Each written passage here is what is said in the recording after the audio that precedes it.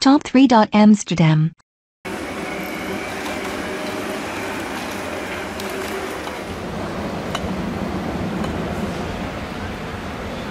Dat die lulde net voor.